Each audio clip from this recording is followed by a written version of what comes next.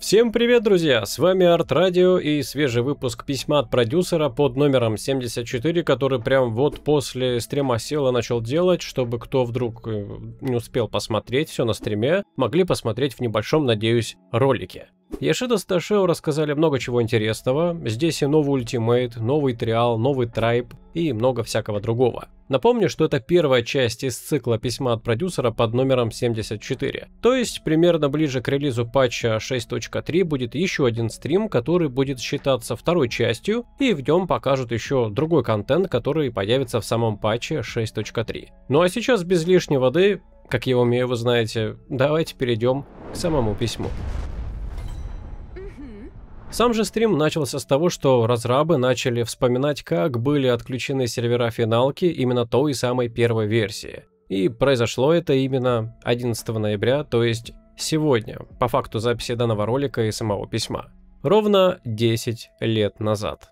Да уж, время летит невероятно быстро, это правда. А еще в этот день вышла знаменитая «Слышь, купи». Ну, вы уже купили, наверное, думаю. После небольших всех этих обсуждений Ешида и Ташио начали презентовать название нового патча. Пока без трейлера он будет показан во второй части письма через примерно полтора месяца. Сам же новый патч получит название God's Reveal Lands Tremble. Wow, my English is very perfect. В переводе примерно будет звучать как «боги ликуют, земли трепещут» или же «земли дрожат». Что-то примерно в таком духе. Ну и сразу же была анонсирована дата релиза. Не точная, но все же. Выйдет 6.3 э, в первой части января 2023 года. Увы, не в декабре этого года, как все думали и планировали для рождественских праздников, чтобы отдохнуть и поиграть. Ну, как-то так. Ишида уточнил, что были планы выпустить сам патч в декабре, но они решили не повторять ошибок Эндволкера и немного все проверить более хорошо на сами же ошибки и в целом, чтобы не было каких-то проблем с запуском. Поэтому все дружно будем ждать.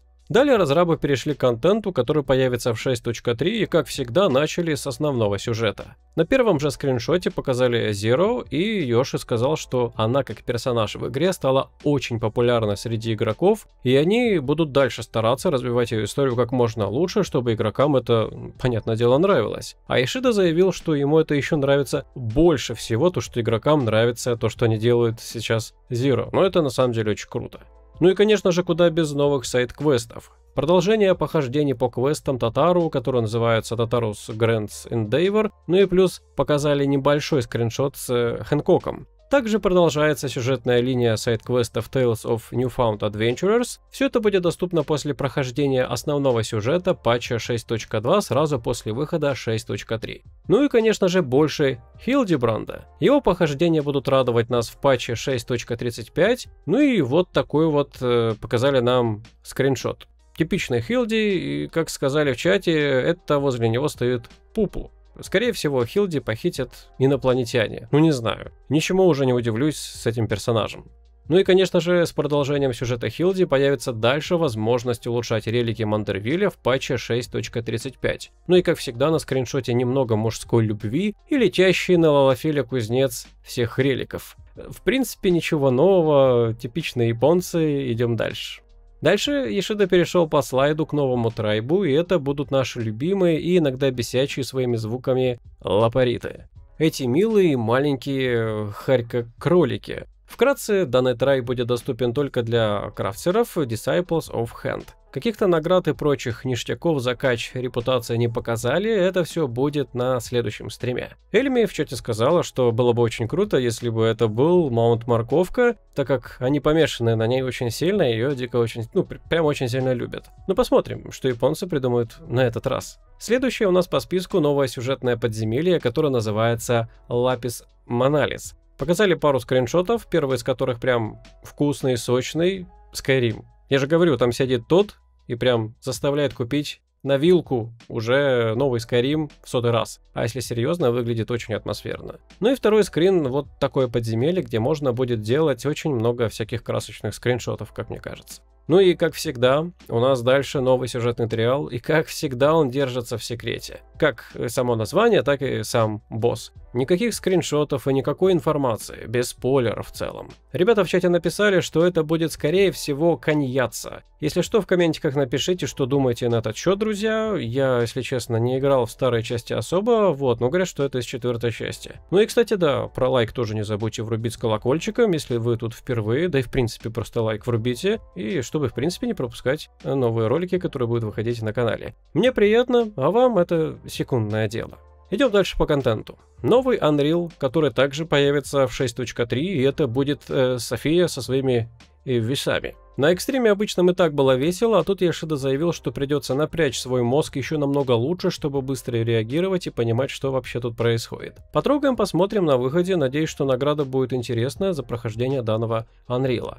Ну и переходим мы с вами к новому альянсовому рейду, который будет называться второй частью Myth of Realm, и получило это все более точное название, которое, как сказал даже Яшида, очень сложно выговорить, Эйфросиния. Показали новый скриншот с сюжетным квестом из э, данного рейда. Э, чтобы его открыть, и можно заметить, что у Грахи, вроде это он, на спине какое-то очень странное устройство. Что-то вроде древнего телефона, как сказал Ешида. Ребята в чатике на стриме сообщили, что это похоже на оружие класса Медиатор. Опять же, я не в курсе, что и как. Э, возможно, это намек на новый класс будущий, или же просто Сибилу опять развели вокруг пальца. Кто знает, если что, пишите. Ну и показали скриншот данного рейда в целом. Ммм, как же пахнет вайбами рабочего стола Windows XP. Ну, конечно, тут немножко все желтенько, но все равно прям очень красиво и очень минималистично, прям очень нравится. Такая вот пока что инфа насчет данного рейда. Больше будет на следующей части письма от продюсера. Дальше нам затизерили новый Ultimate, но никаких подробностей, как он будет называться, как будет выглядеть и так далее, и так далее, ничего из этого нет. Просто будет и выйдет он через две недели после релиза патча 6.3. Ешида сказал, что дизайнить данный Ultimate было очень сложно, и работы пока что еще продолжаются над этим ультимейтом. Ну и наконец-то дальше по первым скриншотам нам показали совершенно новый Deep Dunge, который будет называться Эврика Ортас. Введен он будет в патче 6.35, Требования для него будут следующими. Вначале вам надо пройти основной сюжет Эндволкера 6.0 и пройти первые 50 этажей Паласа, самого первого дипданжа. После Йоши немного рассказал и напомнил в чате, что такое дипданж, и вкратце просто рассказал про то, как здесь все это работает и как, в принципе, устроен дипданж. Чтобы попасть в новый дипданж Эврику Ортас, вам надо иметь уровень э, вашего персонажа, ну, понятное дело, Джоба 81 и выше. Все игроки начинают Эврику Ортас с 81 уровня, и все правила и функционал данжа работают идентично со всеми старыми данжами. В данном случае это Heavens on High и наш любимый старый Палас. Ну а для любителей, кто любит игру проходить абсолютно в одиночку, дальше обновляют и развивают систему Duty Support. В новом патче будут добавлены следующие активности из Heavensward, по списку которого вы можете сейчас увидеть, и которые можно будет пройти вместе с сюжетными персонажами и созерцать даже новые реплики между ними.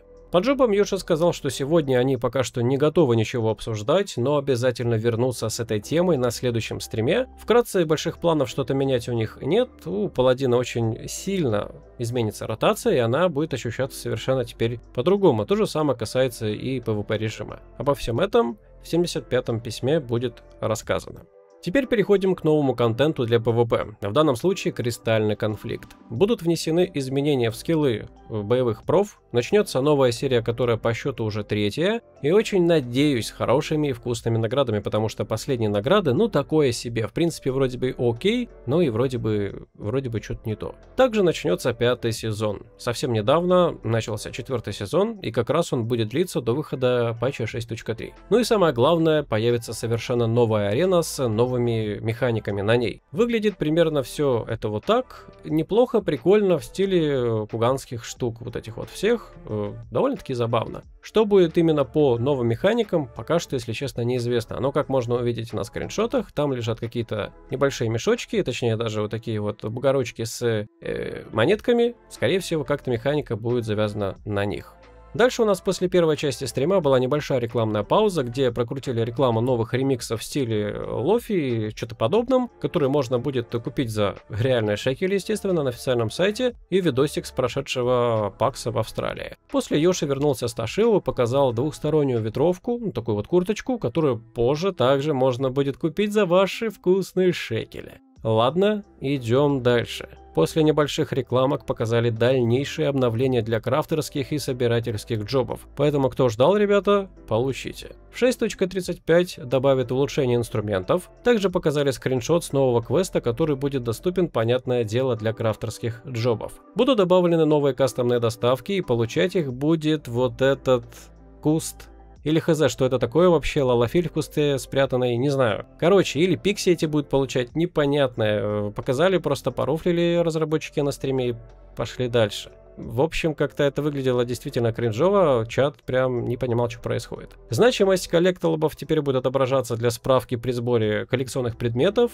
будут добавлены новые места для рыбалки, новые изменения также будут внесены в гайд для рыбака, новое место для ловли рыбы при помощи гарпуна будет добавлено в Апер носки, и это будет самым первым местом в АРР, где появится, понятное дело, дайвинг, потому что, чтобы ловить, собственно говоря, рыбу при помощи гарпуна, надо нырять под воду. Собственно, вот и сам скриншот со всеми развалинами с данного места. Под э, водой выглядит это очень действительно атмосферно и очень круто. Ну и теперь мы переходим к нашей любимой ферме. Для нее добавят новые ранги и виды построек. Также будут добавлены новые предметы в качестве наград и новые материалы, урожаи, животные и рецепты. Вот некоторые из животных, которые появятся на данном острове. Птичка такая вот вкусная, прикольная, такая вот злая киска и... Ну, в принципе, я не удивлен, что еще могут японцы добавить. Короче, вы поняли. А вот так будет выглядеть новая постройка. Прикольно, опять же, но в большинстве случаев будет, скорее всего, бесполезно, а чисто красивый визуал для островка, потому что, ну, многие постройки реально там стоят просто как чисто визуал. Разработчики также уточнили, что переделают интерфейс крафта в воркшопе, который по многим отзывам оказался очень неудобным и неоднозначным. Я прям очень за это плюсую, потому что интерфейс, э, в принципе, на этом острове, если честно, выглядит, ну, так себе. Надеюсь, в будущем его в целом будет немного переделывать, потому что эти подкатегории работают неудобно и много кое-каких аспектов, которые хотелось бы, чтобы разработчики в будущем это переделывали. Появится возможность сбора всех продуктов или его сразу же, и теперь при поимке нового животного можно сразу будет освободить старое животное, не делая лишних телодвижений без возможности поимки нового. Ну, грубо говоря, Раньше вы не могли словить новое животное, потому что вас превышают по количеству животных, которые уже стоят в стойле, скажем, тогда в загоне. Сейчас же можно словить новое животное и при этом освободиться старое. Вот и все. Грубо говоря, как-то так. Дополнительно теперь будут сохраняться настройки оркестрона, который стоит на вашем острове. И наконец-то посетители смогут слышать то, что у вас играет на оркестроне. Спасибо, как говорится, еще раз за это. Ну и ко всему этому, теперь, когда посетители будут посещать ваш остров, вы об этом будете видеть при помощи небольшого уведомления на экране. Более крупных апдейтов остров получит в патче 6.4 по заявлению Яшиды. Появится новое подземелье для поисков сокровищ, которое получит название The Shifting Gymnasium Agonon. Вроде бы правильно прочитал. Ну и, понятное дело, только карты Элписа смогут открывать портал в этот данж. Больше подробностей тоже будет опубликовано в следующем письме. И, наконец-то, хоть что-то новое для Gold Saucer. Немного прям, но хоть что-то. Не новые карты, слава богу, не маджонг, э, в который я не умею играть, а полноценный новый, ну, опять же, хоть что-то, джамп пазл. Посмотрим, что с этого получится. Я очень надеюсь, что что-то прям вкусное и сложное будет, э, потому что джамп-пазлы должны быть сложными реально выносящими мозг, чтобы прям э, нервный тик прям жесткий был. Вот, ну это, понятное дело, шутка. Но хотелось бы, чтобы что-то было интересно, потому что эти джамп-пазлы уже, которых прям вот постоянно повторяются одни и те же, одни и те же, в Gold Saucer уже, ну, как-то поднадоело. Хочется больше активностей. Ну и пока что для Gold Saucer это все. Может, что-то еще расскажут во второй части письма. Для любителей охотиться за домами будут добавлены наконец-то такие новые варды. Всего будет 6 новых основных вардов и 6 сабдивизий. И всего будет новых 1800 плотов на один мир. Немного, как бы, да, если так посчитать, но хоть что-то. Ну и на следующем письме расскажут планы насчет лотерей касаемо ФК личных домов, ибо сейчас э, все с этим очень плохо и будут думать, как их распределять, как делать, как их продавать в лотерее, чтобы, ну, более честно было, чтобы люди смогли как бы заполучить свой домик, который они очень хотели. Пока с этим ничего не понятно, и все это реально работает очень плохо. Небольших изменений претерпит интерфейс. А именно возле урона в батл логе в чате определенном и летящем тексте добавит иконки этого самого урона. В данном случае иконка будет физического урона, иконка магического урона и иконка уникального урона. Также в разделе пати, где у вас собираются как бы, да, игроки Light Party, Full Party, теперь возле каждого игрока будет виден таймер отката бафа или дебафа, что очень прикольно и хорошо. Будет добавлена новая тема для всего интерфейса, какая пока что, увы, не показали. Сейчас э, доступна у нас серая тема, светлая и классическая синяя. Надеюсь на что-то гламурное и розовое. Портреты теперь будут показываться в начале данжа, триала или рейда всем игрокам, чтобы было видно, кого репортить за неприличные плейты. Скорее всего, это будет показываться определенное время и после будет исчезать, а как в том же Орехе с баннерами. Ну и надеюсь, что можно будет отрубить, хотя если эта функция общая, то приравняет к общей и возможно отключить нельзя будет. Ну, короче, посмотрим. В общих изменениях будет добавлено больше возможностей для использования эмоций при использовании fashion-аксессуара. Можно теперь будет гламурить и красить шмотки ретейнера, не вызывая его. Гламурить и красить свои вещи можно будет теперь напрямую с инвентаря своего ретейнера. И будет добавлен удобный фильтр для новых вещей у Sundry Splendors Vendor. Дальше также в чате спросили у Ёшиды насчет синих магов. Йоши сказал, что сейчас они над этим работают, но пока что говорить про них очень рано, поэтому это будет намного позже, чем хотелось бы. Возможно в 6.4, а то и в 6.5, а более глобальная может быть уже даже в 7.0. Как помните, там обещали сделать прям полноценный Battle Royale. Не знаю, есть ли это у них еще мысль это, будут ли они это делать, будет даже интересно это пощупать.